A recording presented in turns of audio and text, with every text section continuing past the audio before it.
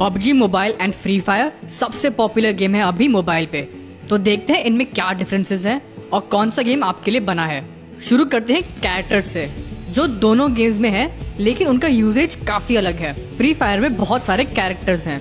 तुम दो free characters के साथ स्टार्ट करते हो, लेकिन तुम और भी कैरेक्टर्स अनलॉक कर सकते हो। ज़्यादातर कैरेक्टर्स को तुम नॉर्मली गेम खेल के अनलॉक कर सकते हो। तुम उनको गेम के पैसों से ले सकते हो या फिर काफ़ी बार तुम्हें कुछ कैरेक्टर्स लॉग इन बोनस के साथ मिल जाएँगे। लेकिन कुछ कैरेक्टर्स लेने के लिए तुम्हें डायमंड यूज़ करना पड़ेगा, जिसके लिए आपको असली पैसे खर्च करने होंगे।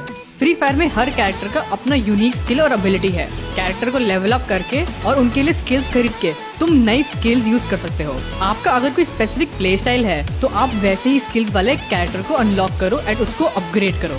पबजी मोबाइल में काफ़ी सिंपल है। बैटल रॉयल वाले मोड में कैरेक्टर्स वगैरह नहीं है। सबका सेम कैरेक्टर है, बस तुम अपना अपियरेंस चेंज कर सकते हो। इसमें सब इक्वली स्टार्ट करते हैं और कोई स्किल्स नहीं है। जो ईवो मोड है, उसमें कैरेक्टर्स हैं स्किल्स के साथ, लेकिन तुम उनको बैटल रॉयल वाले मोड में यूज़ नहीं कर सकते। अब आते हैं इन गेम्स के बैटल रॉयल मोड पर।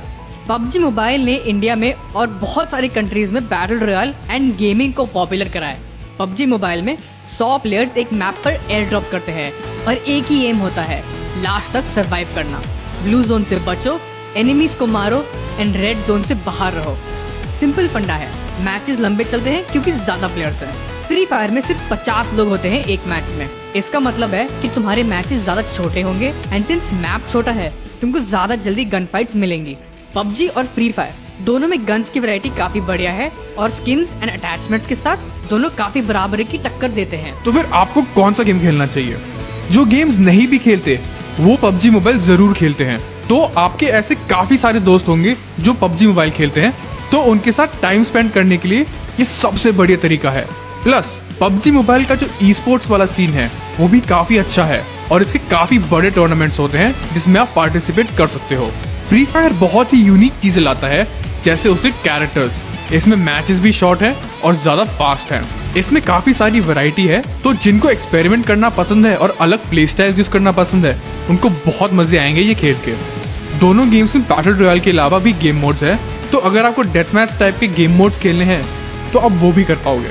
तो अगर आपको ये वीडियो हेल्पफुल लगा तो लाइक कर दो, अपने दोस्तों के साथ शेयर कर दो, हमको कमेंट्स में बताओ कि आपको कौन सा गेम ज़्यादा पसंद है और क्यों।